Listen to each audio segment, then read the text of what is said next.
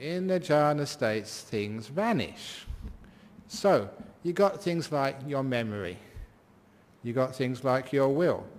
How can you know what those things are? This simile you've heard so many times, but it's the best one to explain the answer to the question.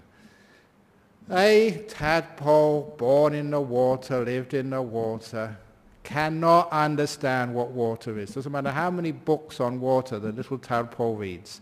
Doesn't matter if it goes to chemistry classes in university and Abhidhamma classes to try and find out what water is.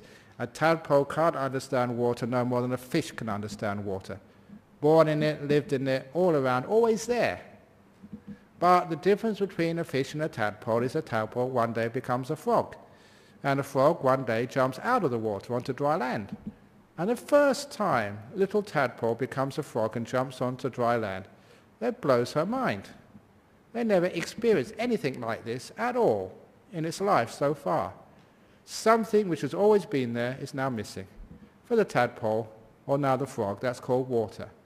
Now, a frog can understand what water is once it's gone. That's what the meaning of jhanas are. There's so many things disappear in the jhanas. And because they're gone, like you know your body and the five senses, only now can you really understand what the body is and the five senses are. Your will vanishes in jhana. Only now can you understand what this will is. And your consciousness starts to vanish. Now you can understand what this consciousness is. Only when it's gone. How can a fish ever understand water? That's the reason why we have the jhanas.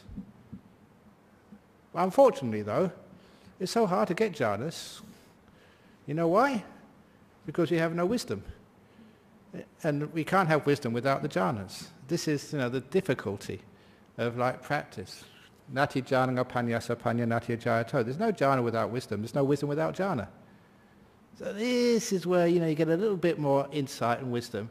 That makes you let go a little bit more, a bit more wisdom, a bit more letting go. The two of these things work together. More understanding, more letting go.